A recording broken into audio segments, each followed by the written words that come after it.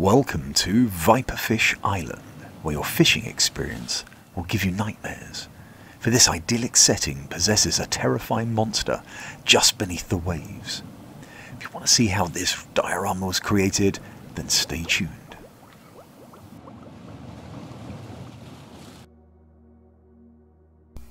This is my first resin diorama for Thalassophobia, and it contained a whole load of problems from start to finish. The journey was not so much as an adventure, but a battle of determination and creativity just to get the project finished. So it'd be great to know what you think about it. Please watch to the end and leave feedback. I do respond to every comment, eventually. Unless, of course, you're going to swear, then I can't be bothered. But your thoughts, whether they're positive or negative about the project, are really important. It started with 3D sculpting a model in Blender, which I'm still trying to get to grips with since my last video for the wood turning of the Monster Energy can diorama.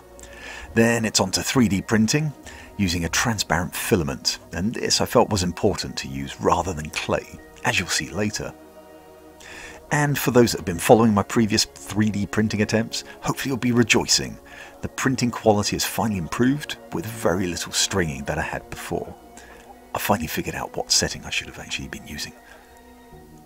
However, after 8 hours of fairly frequent checking, the filament must have jammed and the top part of the viperfish was missing, as were the fins.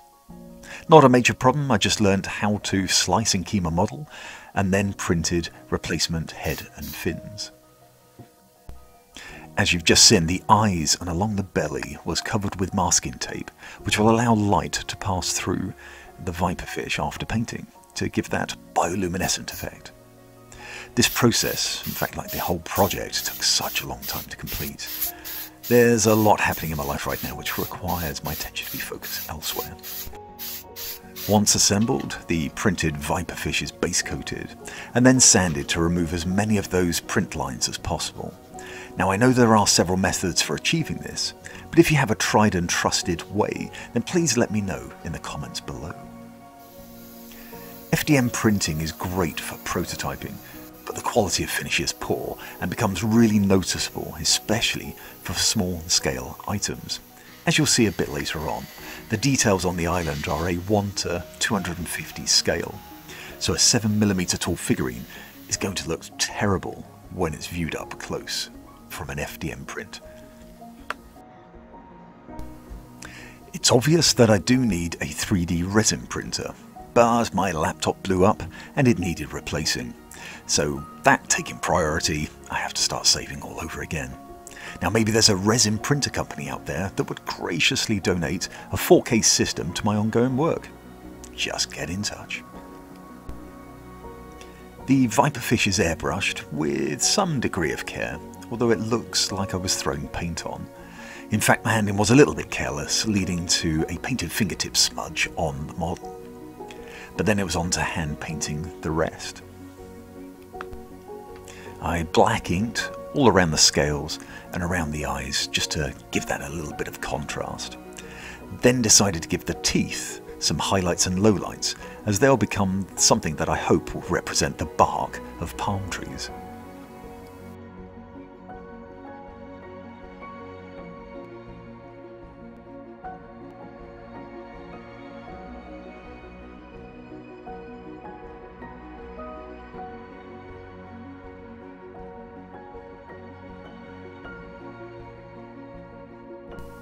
Once the painting was completed, I then removed all the masking tape and applied a blue ink around the edges to cover any revealed base coat.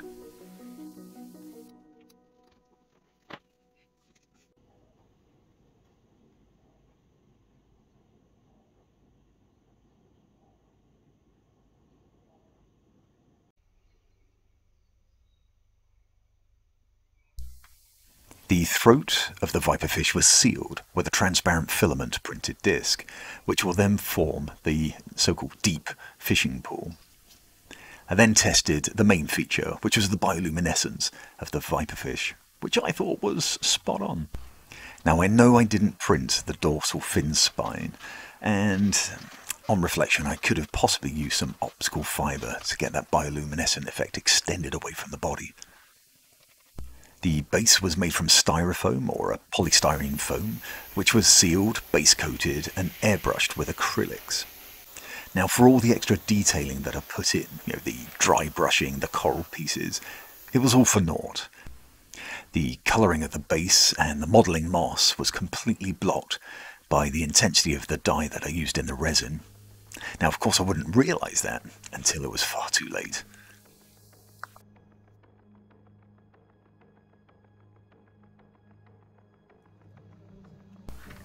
If you've ever worked with large quantities of resin before, then you've probably faced and conquered all these problems. This was my first time, so I had to encounter them right from the beginning. So I had built the resin mold with far too thin sheets of acrylic, and I initially thought it would be absolutely fine um, to contain the epoxy resin without any problems. And I tried pouring three kilograms of resin, which is the last use I've ever tried, um, the problem was it either led to an exothermic runaway uh, or it was just a mini heat wave in the southeast of England. I just couldn't keep the piece uh, cool enough and the test piece was ruined, so I had to turn to using layers. Now I'd waited for each layer to gel uh, before I poured the next one, but in trying to determine this moment, when also having to go out to work each day, meant leaving it slightly too long and the layers are somewhat obvious in the final piece. I couldn't start the whole project again. I was weeks behind schedule and it took about a month to get to this point. And I'd used the last of my resin on this project, so all the savings I had had just gone into this new computer. So there really was no option for going back and trying to solve these issues. I decided not to show a particular sequence I'd used to take care of the bulging resin. I didn't find the look of it appealing, so I decided to cut off all the sides with a bandsaw, then wet sanded it to 5000 grit.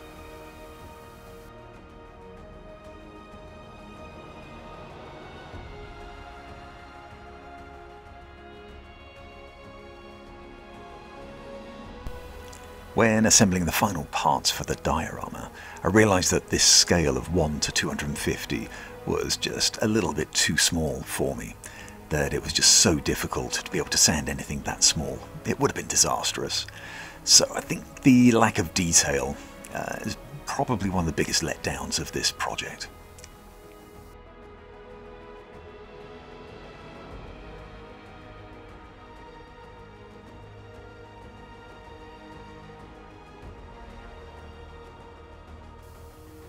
The other problem with a 1 in 250 scale when you are printing small scale objects is trying to position them.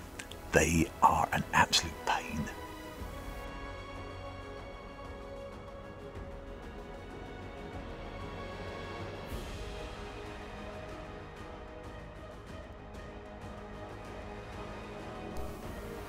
I wanted a water effect on the surface of this diorama, but I didn't want it to only involve crashing waves. So I tried a stippling effect with a sponge and then dry brushing on top. And after that, I used a blue ink to seep into the valleys. My impression is that I should not have dry brushed it. I should have left it well alone. But alas, too late. Now we get into the final diorama shots. I deliberately didn't show the close-ups as I think it would have distracted from the overall theme and I really wanted to get across the concept of thalassophobia as I saw it using a zombie-like viperfish. But there we have it, an idyllic island setting complete with a fishing person, a rod, a rowboat and oars, with the viperfish below.